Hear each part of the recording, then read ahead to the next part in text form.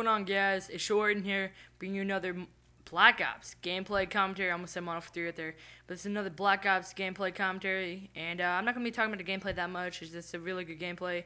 Uh, I think it was my first game of the day a couple days ago, and uh, it was just a really good game. I was playing like a full party, and, uh, and we just basically wrecked this team. So it was a pretty good game. I believe I went like 51 and 3 or something. So hope you guys enjoy that in the background. But guys, in this gameplay, as I did reach 1,000 subscribers. Uh, I do appreciate that from you guys, but I want to do something that might help you guys on you know your YouTube stuff if you're trying to do this as like maybe a career or you know a hobby or something. Uh, it's just how to become a better gameplay commentator. Um, for me, I started off very terrible. But uh, before I get into like you know my progression as a YouTube commentator, this is gonna be a little two-part series I'm gonna do, and uh, uh, I know that uh, some of you guys might be struggling with some you know of you comment like some of you commentating. Some of your commentaries, goddamn, I, I see. I'm not even good right now.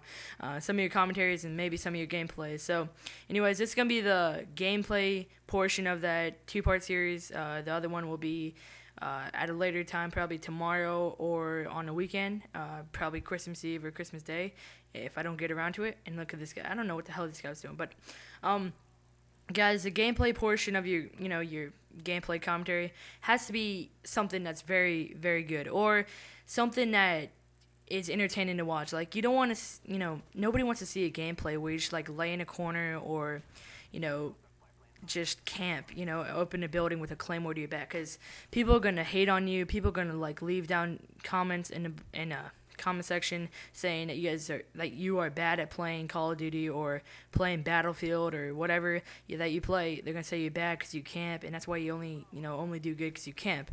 Now, for me, my gameplays, I usually like to rush around. I only you know, for, for me, I only start camping, like start playing a little more defensively when I, you know, get close to my kill streaks. Like right here, I mean, I would have rushed your spawn if I wasn't if I was on like a two kill streak, but since I was close, I got my blackbird right there. So, you know, that's the way I do it. I just like you know want to, you know, rush your spawn until I get like a six kill streak, and then just like stay back for, to get my kill streaks, because then I'll I know that I can get them. So you just don't want a gameplay where you just like laying in the same building for like seven minutes and don't move anywhere and have a claymore to your back, because people are not going to enjoy that. People want to see, you know, high action gameplays like for example, I'm just gonna put in there like the Market J or something where he like rushes the spawn or Fearcrats or something where they rush the spawn and it's very entertaining to watch and uh, I think it's just you know very fun to watch. And they also have high scoring gameplays which is also entertaining to watch because you know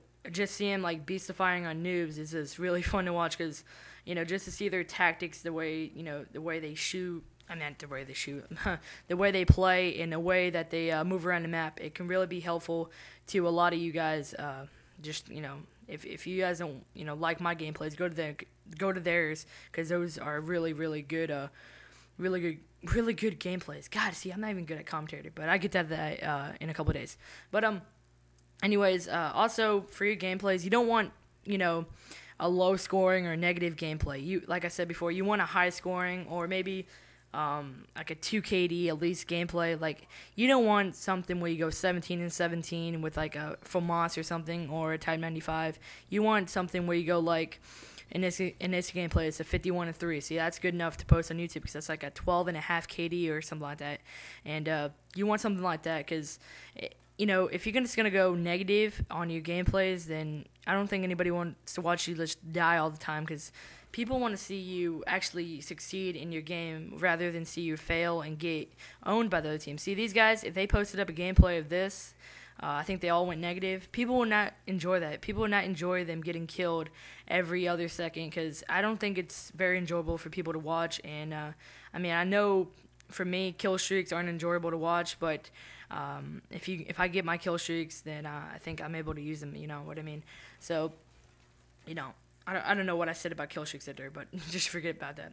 So yeah, just don't like post up a game where you're gonna be negative or going negative or you know br- barely breaking even because you know people like I said before they don't. They, I mean, some people don't really strive for gameplay, but it really helps. Like if you're not really that good of a commentator, it really helps if your gameplay uh, is really outstanding. I mean, you can have good gameplay and good commentary, then you're set to go. But if your gameplay is not met up with your commentary, then you know there's something wrong. There's something missing. So you know, just get like high scoring, high action gameplays, and uh, then you'll be good to go. And then you know, if you have a good commentary, then you'll be good to go too. And also, guys, um, this is just my personal opinion on you know gameplays and stuff. If you use assassin or ghost or anything, and you're not using it the way it's supposed to be, like you know you're just you know cautiously moving around the map and you know move every couple minutes um, from like one spot to another.